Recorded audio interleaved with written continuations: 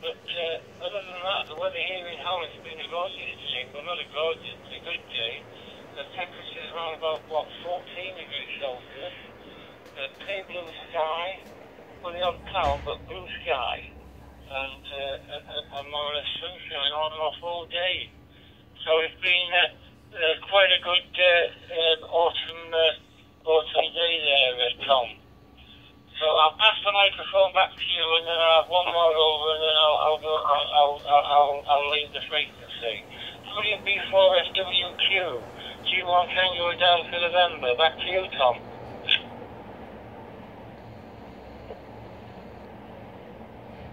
November Whiskey Bravo 4 Foxtrot Whiskey. Alright.